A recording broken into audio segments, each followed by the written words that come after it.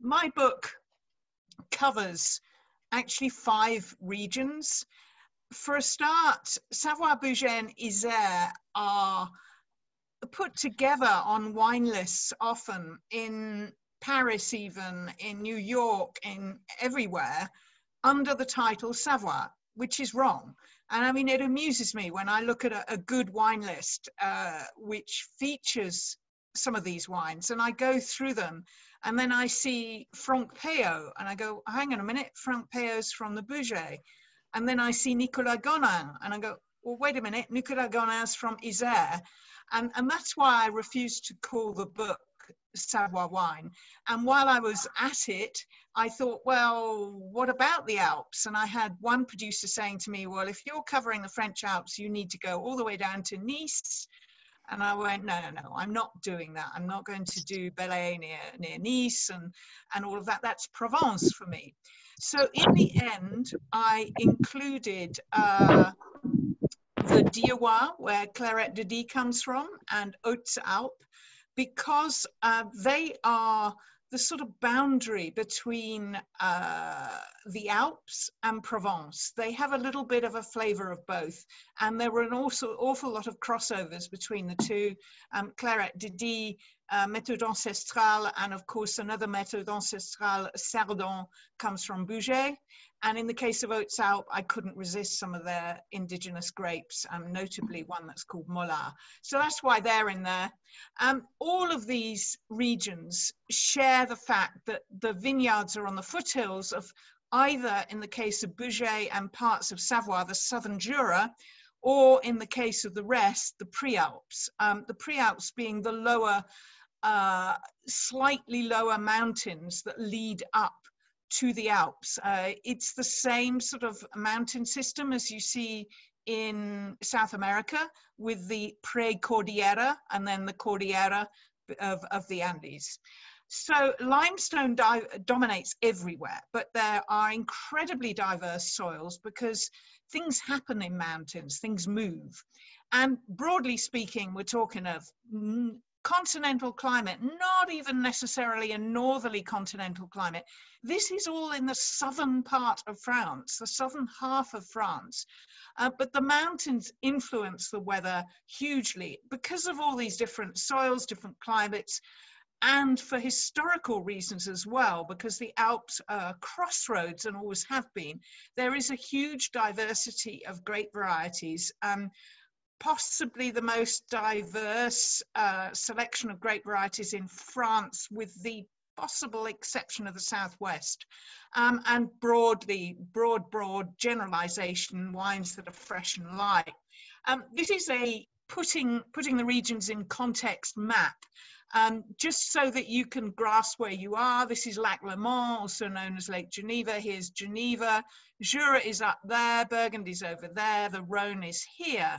These are the scattered vineyards of Savoie, and over here in this loop that, uh, that the Rhone makes are the scattered vineyards of Bugey. there are just these tiny little spots just south of Savoie, and those two other regions I mentioned, uh, the Diois, where Clairette comes from, Clairette de Die, and the Hautes-Alpes on the same sort of latitude down here, south of Grenoble. So we're sort of closer to the Rhone than anything else, and, and I think the Rhone in terms of wine styles, uh, if you talk of other regions, has more influence, certainly more influence than either Burgundy or Jura does. The rivers um, are quite fun to see. I, I do a terrible pun in my book saying um, all rivers lead to Rhone. Um, the Rhone, of course, rises in Switzerland. So you have the Rhone, uh, the vineyards of the Valais here, uh, it then sort of washes into Lac Léman. It appears here and then flows on down through Seyssel, historically very important part of, of, of Savoie, and then does this loop I mentioned before, and then off it goes to Lyon and down through the Rhone. And all of these tributaries, the Isère, here comes through the vineyards, the Drôme, here comes through the vineyards, and so on. There, there's a lot of them.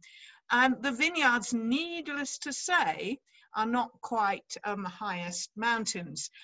I'm going to do a, a rapid history talk here, mainly to see where we are now and why. So I mentioned that the Alps were a crossroads. So obviously there were there's evidence of vineyards pre-Romans. Then of course the Romans were important in the Alps, in the um, whole of the area, including the northern Rhone.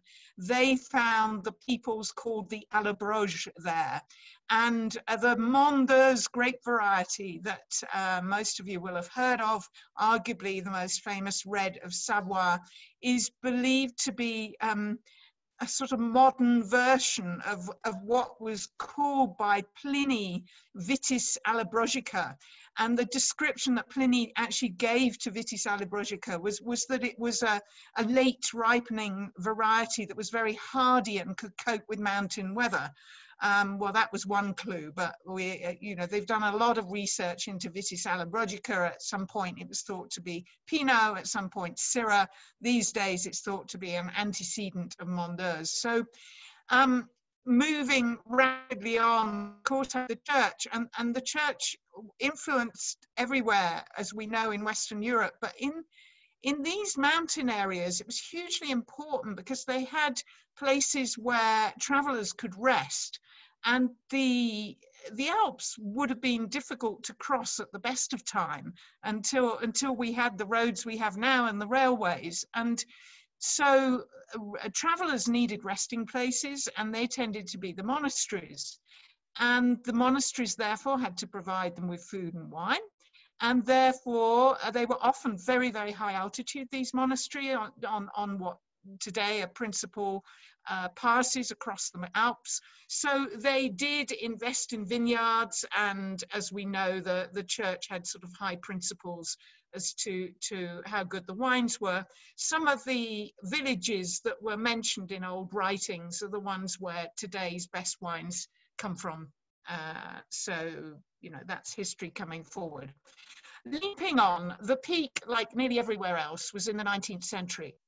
Um, at that point, uh, wine was produced for the local populations, for people in the mountains that couldn't grow vineyards and so on.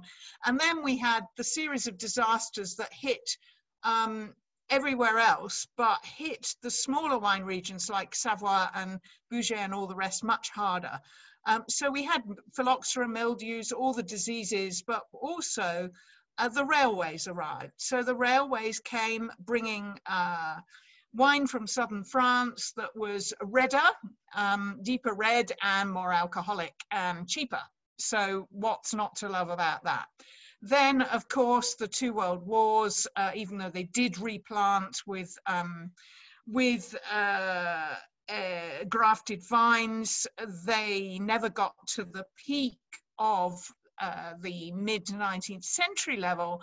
And the two world wars basically took away all the young men uh, the older men and the wives got fed up with trying to farm these incredibly steep vineyards. And it was the steepness and the difficulty of the work that really nearly meant that, that Savoie and all the other regions died a death.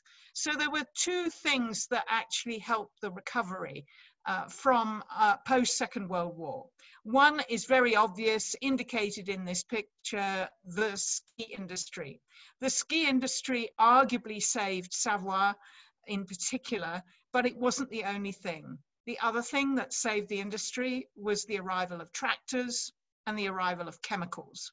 And it, it's ironic today because it is organic wines that are driving the renaissance of Savoie wines, but it was chemicals and the, the fact that they made it easier to um, to weed the vineyards and to deal with disease in this very humid area, they really did save the area and, and the arrival, very late arrival of machinery as well. But the ski industry gave a ready market.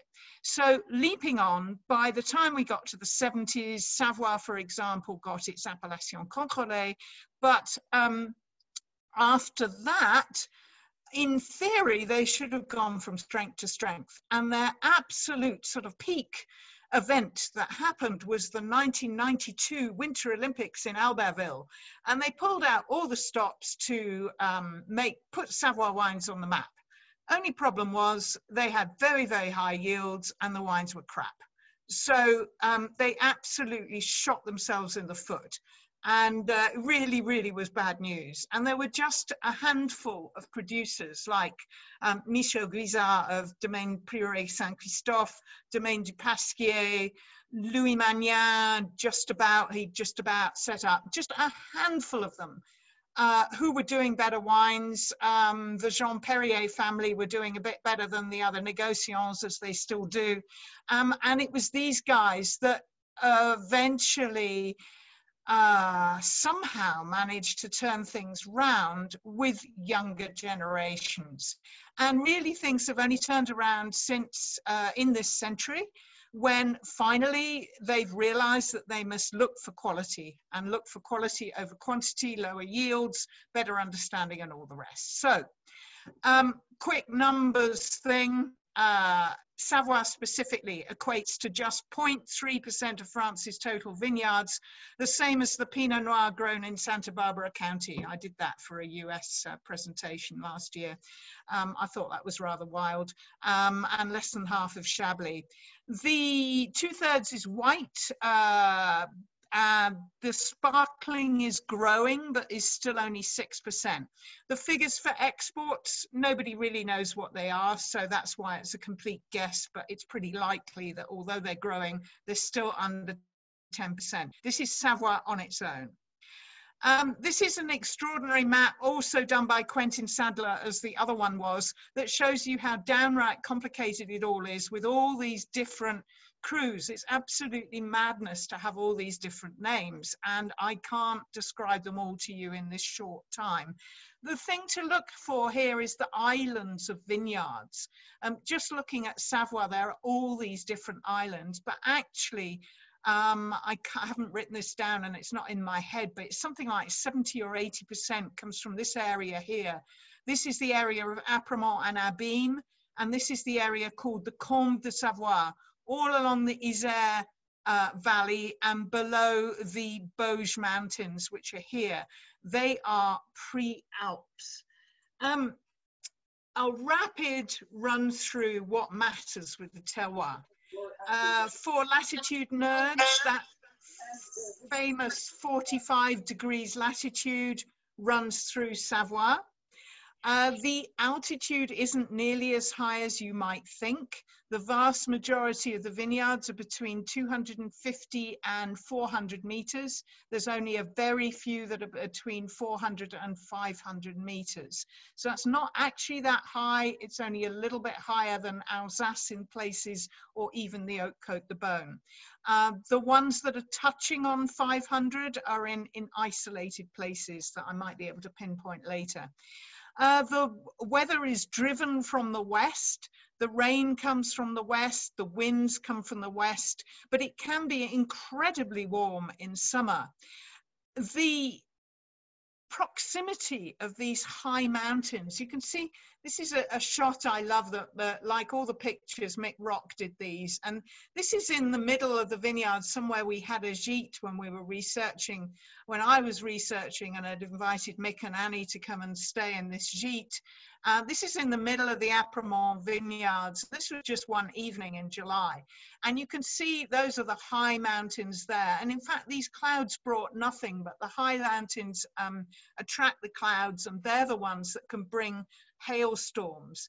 Something that's happened with climate change is that it looks like we're getting more and more risk of late spring frost and of hail. Um, this year, touch wood, so far they have been saved um, as everywhere in eastern France because not only was the spring early and warm, it can mean that there's a disaster looming, um, but so far there hasn't been a cold snap.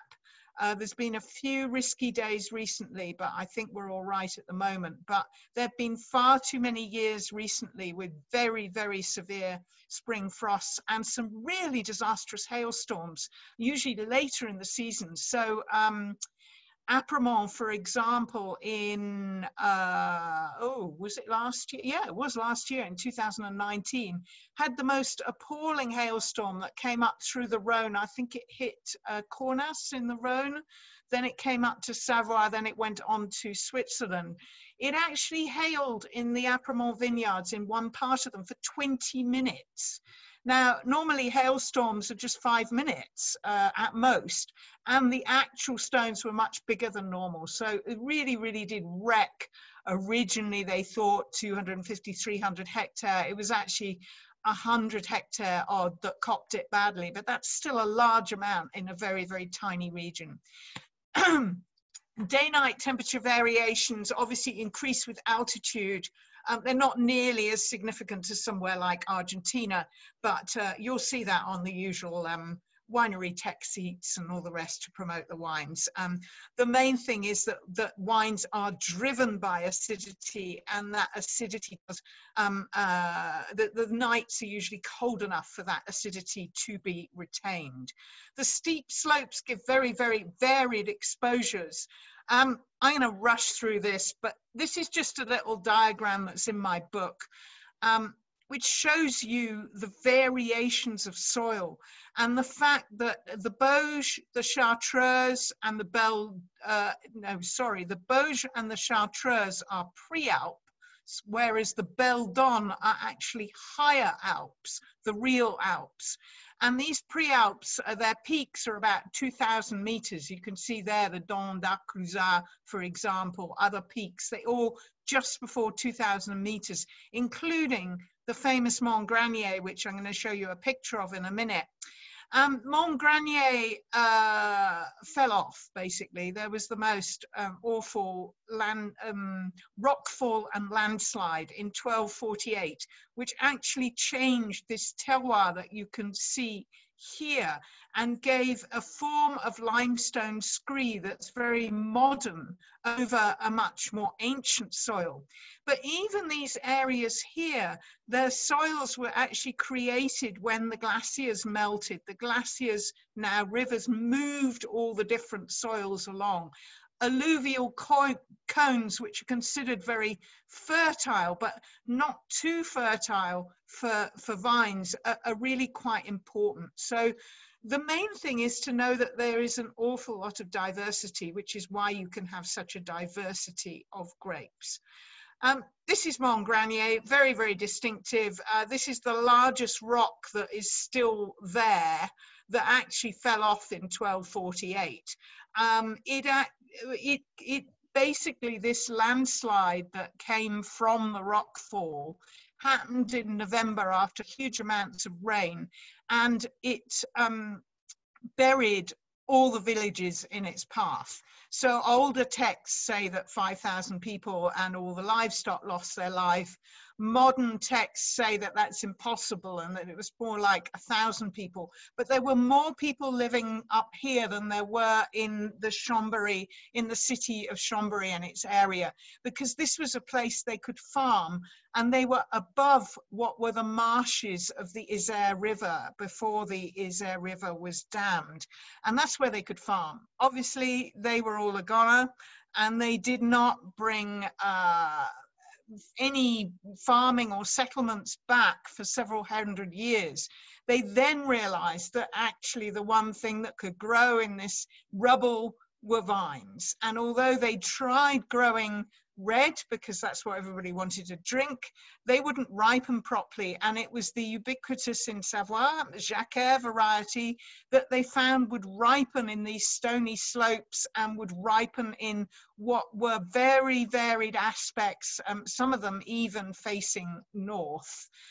Um, so steep slopes you see uh, obviously a lot here, and the best vineyards are generally on steep slopes. By the time the Second World War had come, most of the steep slopes had been overtaken by this sort of forest that you see here. So this vineyard that you're looking at here, which is uh, in Chignin, uh, is is typical of a vineyard that has been replanted in the last 10 15 years on these steep slopes it's been replanted using um, the training called uh, sur échalas on a single stake a little bit like um, the Northern Rhone, but you don't usually see the sort of wigwam effect. It's very, very labor intensive. This is a vineyard that's run organically, uh, but uh, the the cost of the labor and the time it takes is is is very very significant. Uh, lots of manual work on slopes like this, uh, weed control being the difficult thing because of, of the high humidity and fungal disease you have to keep on top of as well. So it's all very, very challenging. And so they are desperate to get more money for their wine, not surprisingly. And the organic vineyards, um, organic producers do charge more and are beginning to get more for their vines. So um, a quick run through all these um, um, indigenous varieties. I can't tell you all about them, but Jacquère is the most planted, although it used to be 50% of the Savoie vineyards. It's now 42% and not a lot of new plantings go on, but it's beginning to be valued more. It's used in sparkling wines as well as still, but there are some people realizing that even Jacquère should be aged for a little bit longer when it's made properly. Uh, but it does give this gorgeous freshness and low alcohol. Um, having said that, the um, in 2018, they were actually coming up uh, with sorry, 2019, last year, they were actually coming up with natural percentages of 12%, which was sort of unheard of for Jacquère. Normally it will end up at nine or 10 and be chaptalized up to 10 and a half, something like that, or up to 11 or 11 and a half. And so things have been changing very dramatically. The most exciting variety for me is Altesse, which makes the wines that are called Roussette de Savoie, also grown a little bit in Bugey, where it makes the appellation Roussette du Bugey. Altesse um, has a, a whole load of different mystical and mythical stories attached to it, but actually um, it's believed now to be indigenous to the Lac Léman and Savoie area and very distantly related maybe to Chasselas, but we're not sure. Uh, Roussanne is called Bergeron in Savoie and is only allowed to be grown in Chignin. Came up from the Rhone and there was very little of it planted um, until recently. It doesn't have a very great history there. Chardonnay really is an incomer here, whereas uh, in Jura, those of you that have heard me speak on Jura, I do defend its history in Jura because uh, it goes back a long way there, but there's no real place for it in Savoie. Chasselas grown in the north of the area near Léman, no surprise, near the Swiss border. Gringet, um, I've put Gringet on here because if you talk to Americans who know about Savoie, they will presume that Gringet is uh, one of the most important grape varieties there. Why will they do this? Because Gringet makes the wine called Ayze, spelled A-Y-Z-E, uh, still and sparkling. There is one producer there who um, has become the arguably most cult producer of Savoie around the world, Domaine Belluard, um, Dominique Belluard. And he didn't look for his fame, it just came to him. It was importers, and Ayze is made from Gringet, but that's the only place it's grown. It's a great variety, also indigenous to the area, um, believed to be uh, related to another rare grape called Molette. So there are tons and tons of grapes in the French Alps that are unusual and rare. Molette is good for sparkling wine. Mondeuse Blanche is not a um, variation of Mondeuse Noir. It is actually a separate variety and just happens to be distinguished by being the mother of Syrah. Uh, Verdesse is, is a really um, exciting and unusual grape in mainly in Isère and just over the border in Savoie. Clairette's also grown in Languedoc, but is important in and Haute-Alpes. And then there are these very, very rare grape varieties, and there's a ton of them being rehabilitated at the moment. Why? Because uh, many people believe that, that these grape varieties will be better equipped to cope with climate change. They were dropped in the past because they didn't produce quantity, they didn't ripen reliably, but now with our better understanding of, of farming, uh, in particular, and with climate change, uh, these grapes need to be rescued and rehabilitated. With reds, um, believe it or not, the most planted is Gamay. I'm finding it quite hard to find the real history of Gamay in Savoie. I don't think it goes back for a long, long time, but uh, there was much more of it planted than there is now. It's not being replanted, but there are some decent, very pleasant Gamays around, not least because most of it was planted in the 60s and 70s, so therefore you're getting old vines now. The great um, quality standard bearer is Mondeuse, um, a distant, well, not that distant relative of Syrah. It's still being argued about as to what exactly the relationship between Mondeuse Noire and Syrah is. It may be a grandchild, it may be a grandparent. Um, they, the ampelographers keep, up, come, keep on coming with, with new theories it has been gradually planted more and more and more. And if it says anything they're planting now, it's Mondeuse for reds and Altesse for whites. Pinot Noir has been here a while. Uh, it's used for sparkling and a little bit of um, not usually very distinguished reds with a few exceptions. And the talk of the town is Persan.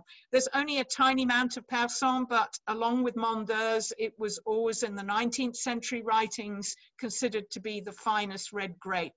Uh, it gives a higher alcohol than Mondeuse. Mondeuse naturally rarely produces more than 11%, whereas naturally Persan can hit the heights of 12 or more.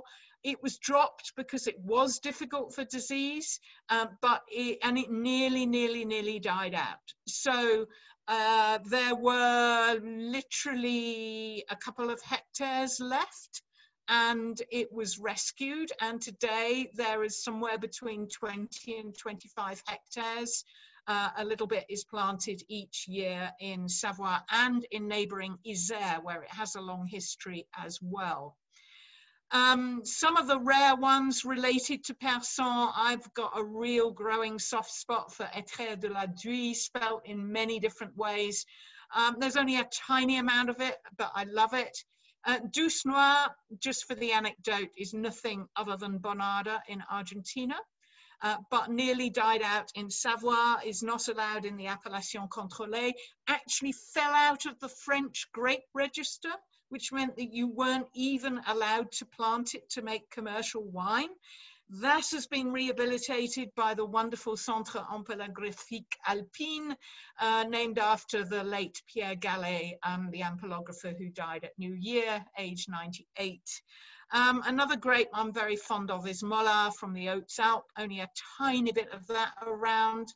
And then there are these extraordinary, very rare ones that are being rescued and rehabilitated. So it's all very exciting. This to me is the, the USP that the Alps have. And I think the wines that they're producing can be very extraordinary. I've gone way over time, so look, look all this up. But um, Savoie, Vin de Savoie, they're the same thing.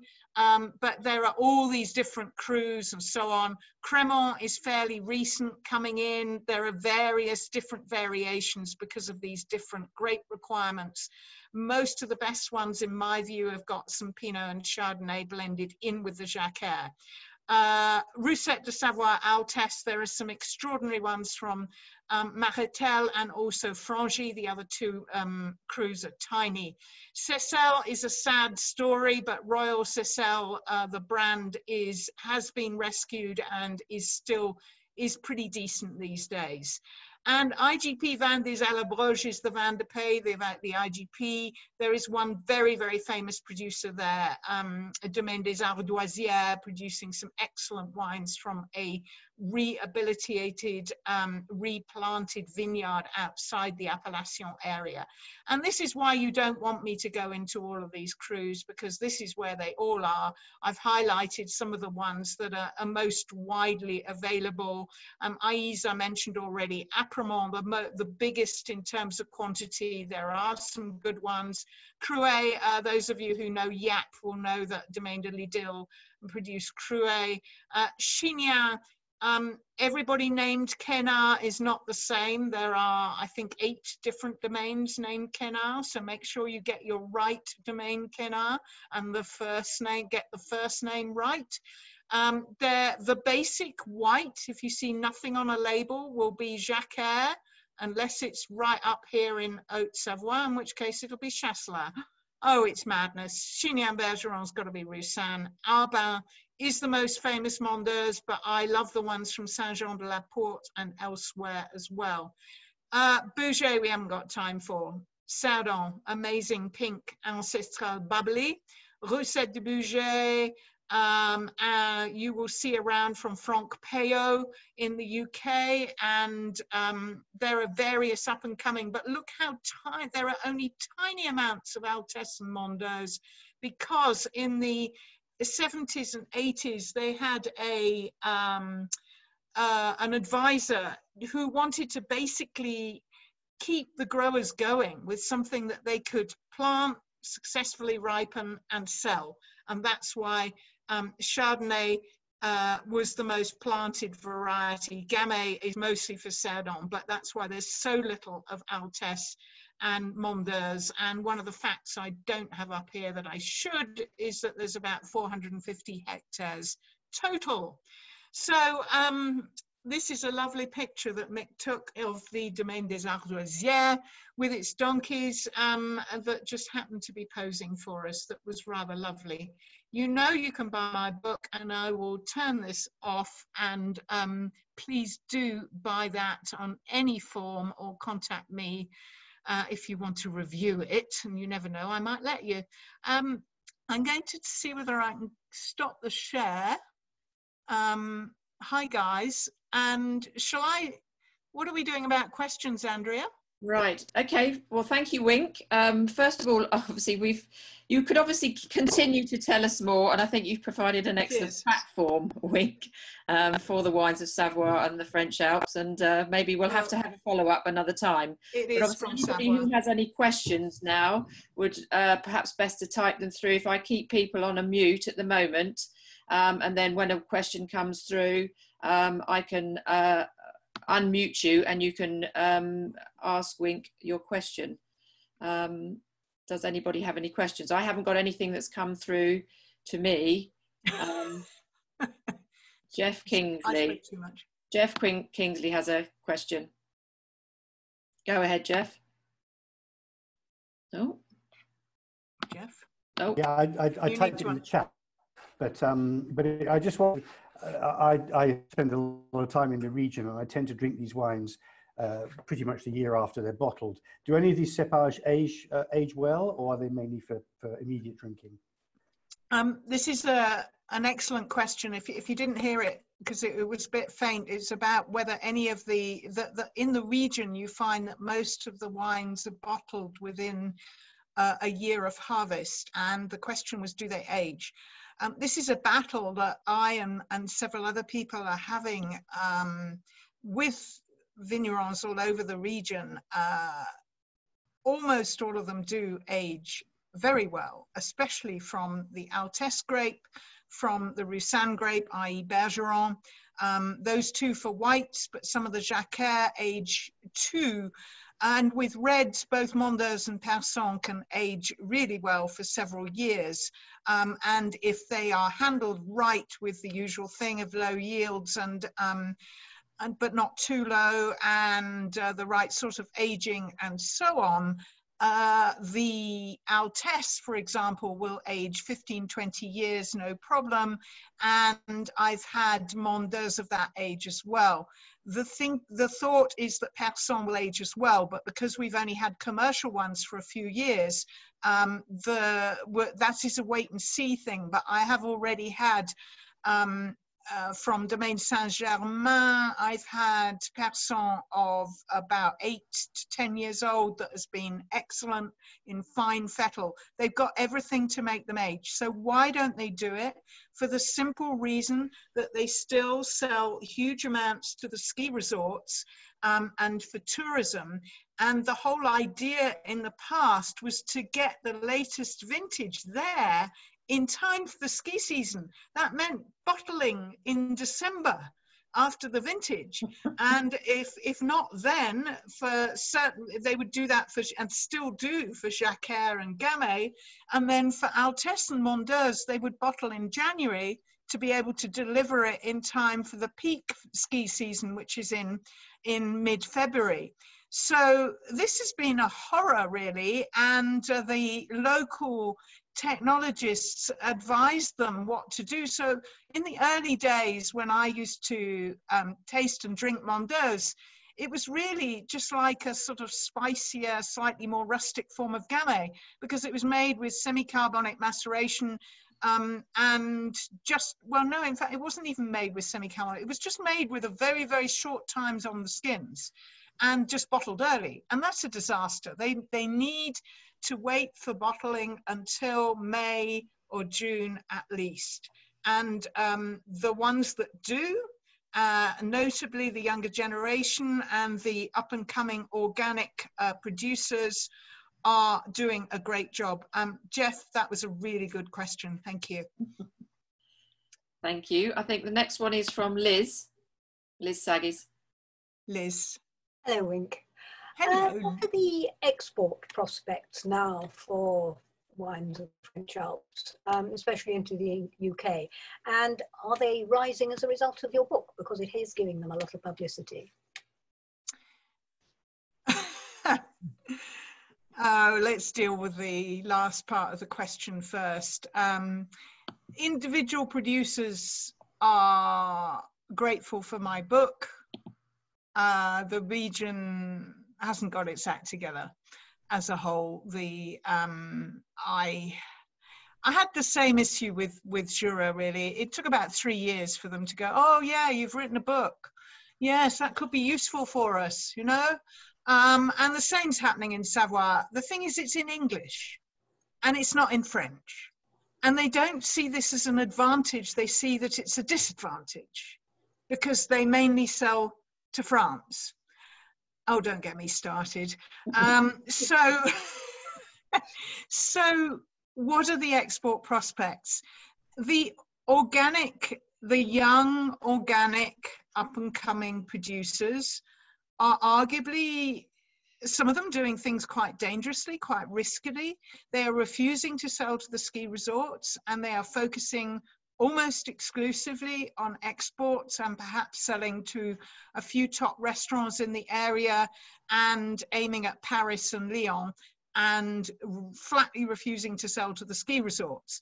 Um, it's a risky, risky sort of um, approach to take, but um, as far as them coming to England, there, there's really quite a huge, uh, quite a wide range around uh, Vine Trail bring in an excellent selection. Cave de Pyrène have a few, uh, and there there are more and more out there. The thing is that quantity-wise, with the exception of Jacquère, um, so Apremont and so on, they're not ideal for supermarkets and multiples and so on. And price wise, that's a problem as well. So, therefore, the niche is there for the more expensive, in particular organic, but not exclusively organic wines. There are some non organic ones coming in too. Um, there are no statistics on exports as to what is going where, um, but there's definite growing interest in other countries. Uh, partly going on the shirt tails of Jura in the US, in, Scan in various countries in Scandinavia, in Japan. Um, and so I can see that the UK may follow on behind that a bit as well. Thank you. Okay, any more? Uh, yes, Christos. And then Maggie. Uh, Hi, Christos. A lot of us buy from the Wine Society. They've got three uh, whites. I don't know if you, you're aware of those in their current list. Um, uh, do you know them? Have you tasted them? Are they good examples if we wanted to use them in a tasting? Um, I can't I can't see your list, but I do know oh, exactly the range from the Wine Society. They've taken on some wines from um, Jean-Francois Quénard, I think. Yes, um, two, two, two of those are the three of the whites. Yeah, that's right. Yeah, so again, and the Chignin Bergeron au pied des tours. Yeah, they're excellent. Um, in in terms of in terms of um, doing tastings for the for those among you who are educators, um, it's not surprising that I've been doing quite a lot of tastings. In fact, um, I'm supposed to be in the UK. Well, in fact, I'm supposed to be in. Where am I supposed to be? I'm supposed to be in Sweden right now, um, but I was supposed to be in the UK before, and I had um, four tutored tastings in my diary and the wines are sitting in my garage in the UK and I hope um, are okay there because I bought them all. So I bought some of them from the Wine Society and including um, one JF Quénard wine.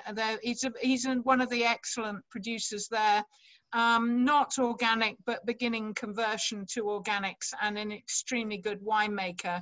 Um, I also bought some wines from Vinatis, um, Vinatis are a company that I should know more about than I do. They're actually based down the road to, from where I am now. And I didn't realize that until I went onto Wine Searcher to have a look at what wines were available in the UK. And Vinatis are a French company who ship to the UK, or at least they do at the moment. Whether they'll be able to after the 31st of December is another matter. Um, but um, they definitely do it at the moment. And I found their deliveries have been superb. And they have a big range of decent Savoy wines. So that's somewhere to get more from. Then there's Yapp, who, who do Domaine de l'Idylle, who are okay, not as good as they were in a way, um, and um, and the other people that I mentioned already. I think that the Wine Society might like to do a few more. The the other one that they do that I buy a lot of that they buy that Vine Trail import, but um, the Wine Society deal with them too, um, is the Al- Roussette du Bugey um, Altesse from Franck Peillot and, and that is really good value. And also his sparkling wine from the Cru Montagnieu is, is one of the finest sparkling, méthode traditionnelle sparkling wines in the Alps. I would highly recommend it. It's made from a blend of uh, Chardonnay with Altesse and Mondeuse, actually, in the blend. It's very Yeah, that's on the list. Great, thanks, Wink. That's very helpful. Wonderful. Okay. And I think we've got one last question from Maggie, who has, is unmuted, I see. Hi, Maggie. Hi, hi, Wink. Hi, Maggie.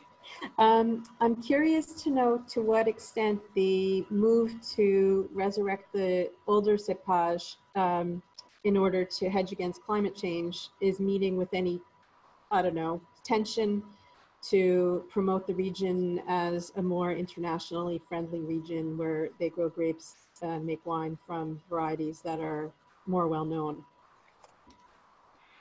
Whoa, it's a difficult and complicated question. Um, uh, there are several leading lights producers who are considered leading lights who are, are very involved in um, in working with indigenous and local and rare varieties. So uh, Nicolas Gonin, who is based in um, a rather remote part of Isère, for example, is um, one of the vice presidents of the Centre Ampelographique Alpine that I mentioned earlier.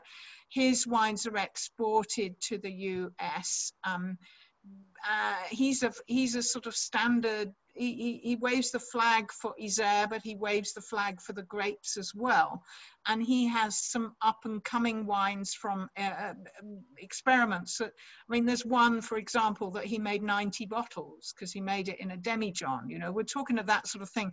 But he will, is one of the people to get Persan known. The Isère in particular is doing, it's tiny, but there's him and there's another producer who unfortunately the two don't get on.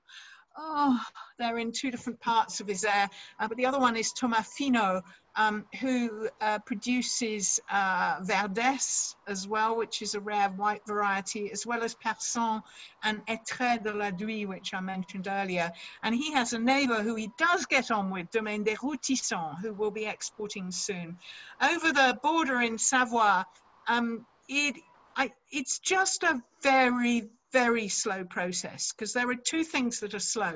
A, rehabilitating rare grapes is a very slow process. And I've got an article that I keep meaning to write, but I'm sure nobody will pay me for it. But you never know. I keep meaning to sit down and write this article about how you rehabilitate a grape.